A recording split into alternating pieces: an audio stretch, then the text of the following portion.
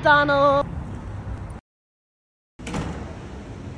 Okay, after five hours, we finally made it to Indianapolis to Greek conference and let's do a room tour. So here is our room. hey Kate. Hey. We are rooming with two others from different Michigan universities, but our view is just gorgeous. So a little bit about Greek conference.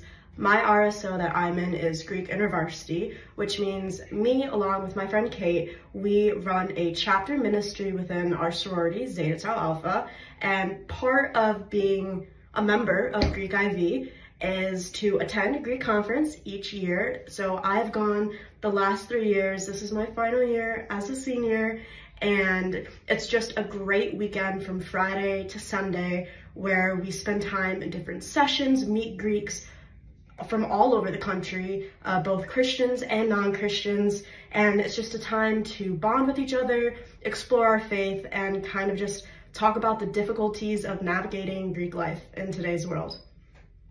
So when we checked in, we had a little bit of issues because apparently all four of us total in this room were supposed to be there at check-in and it was only two of us because we don't know the other two. So that was a bit frustrating off the start but we're in the hotel room now, everything's okay.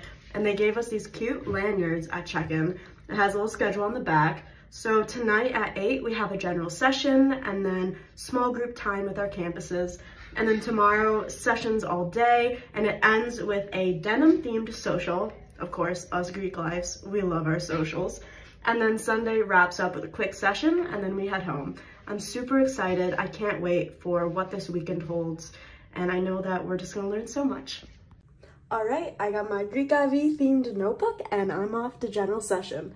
Thanks for listening to this week's YouTube video and please hit that like and subscribe button. See ya!